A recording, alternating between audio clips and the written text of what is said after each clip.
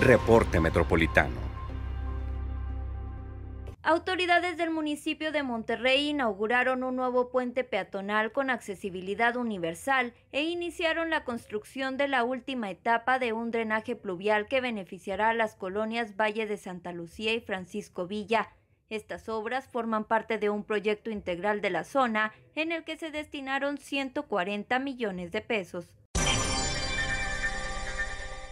Elementos policíacos del municipio de Santa Catarina reforzaron su labor de proximidad mediante la entrega de cubrebocas en paradas del transporte público y un operativo de perifoneo en diversas colonias. La intención, mencionó el alcalde Héctor Castillo, es exhortar a la población a que siga las medidas sanitarias recomendadas, en especial el uso del tapabocas, para contener los contagios por COVID-19 y así evitar también que se les apliquen sanciones o reprimendas.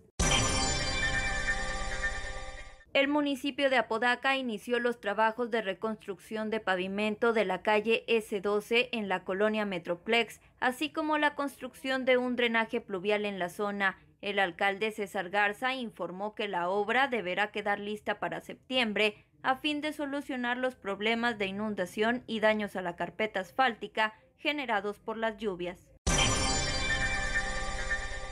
Para que los espacios deportivos puedan estar listos cuando se autorice su reapertura, el municipio de Guadalupe realiza trabajos de rehabilitación y mantenimiento en los diferentes gimnasios y unidades de este tipo. Tras un recorrido de supervisión, la alcaldesa Cristina Díaz mencionó que algunas acciones que se llevan a cabo son de deshierve y pintura. La alcaldesa de Escobedo, Clara Luz Flores, participó en una conferencia virtual con estudiantes y profesores de la Facultad de Ciencias Políticas y Relaciones Internacionales de la Universidad Autónoma de Nuevo León, en la que presentó diversas acciones emprendidas por su administración en la lucha contra el COVID-19. Además, destacó que algunos programas y trámites se han adaptado con el objetivo de seguir atendiendo las necesidades de la gente.